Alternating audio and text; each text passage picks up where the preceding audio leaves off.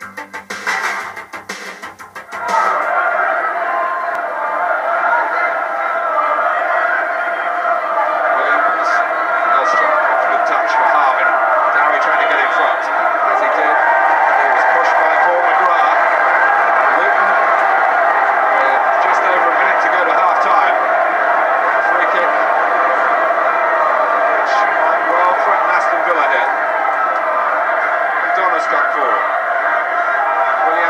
Sight of goal, but the hit pounds in the wall. Williams goes in again.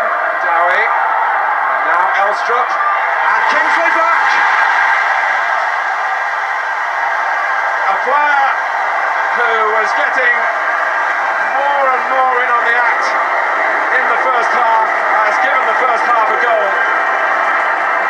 And the free kick in the end was costly. Although it didn't come from the rehearsed route.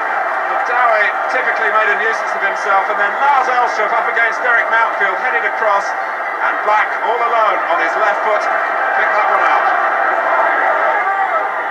His fourth goal of the season.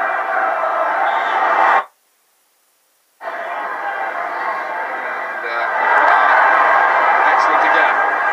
Here's Elstrup. Yes. A second goal that should secure the points.